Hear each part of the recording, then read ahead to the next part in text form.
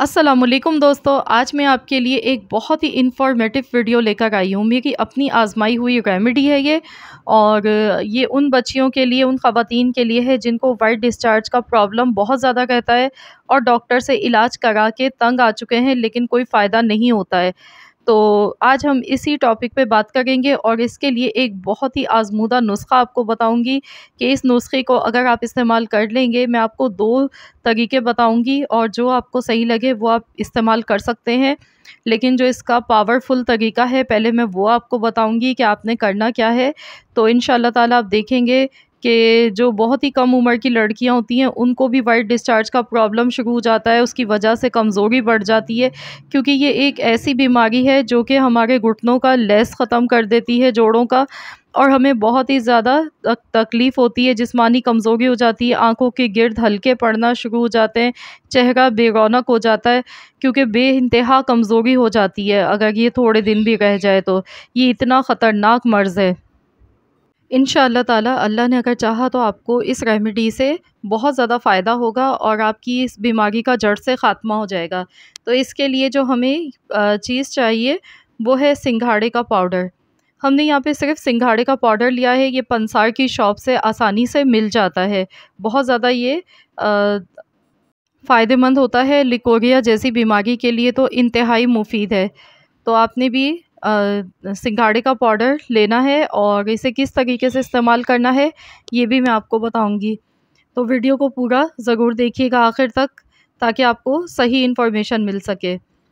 तो यहाँ पर देखिए मैंने सिंघाड़े का पाउडर लिया है, जो कि दिखने में इस तरह का होता है, और आजकल तो मौसम भी है, सिंघाड़ा ख़ुद मौजूद है, बाज़ार में आया हुआ है मार्केट में आसानी से मिल रहा है। इसका जो फल है, वो बहुत ही फ़ायदेमंद होता है, लाजमी खाना चाहिए, बहुत ज़्यादा ताकतवर होता है। तो यहाँ पर मैंने सिंघाड़े का पाउडर लिया है और इसके साथ हमें चाहिए होगा एक गिलास नीम गरम दूध। दूध आपने हल्का सा कुनकुना सा गरम इस्तेमाल करना है।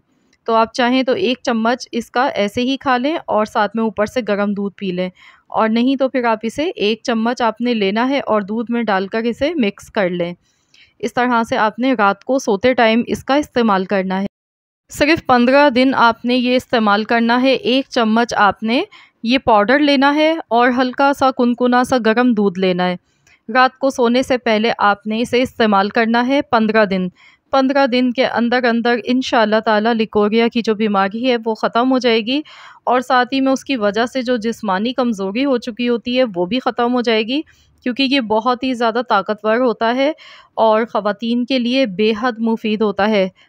लिकोरिया की जो बीमारी है, वो होती इसी वजह से है, जब हमारा अंदर का जो निज़ाम होता है, वो कमज़ोर होता है, अंदरूनी कमज़ोरी होती है हमें तो उसकी वजह से ये बीमारी होती है और फिर ये जाने का नाम ही नहीं लेती है। तो आपने बस इस रेमेडी को लाजमी इस्तेमाल करना है, आप देखेंगे इन ताला आपको इससे बहुत आराम मिलेगा।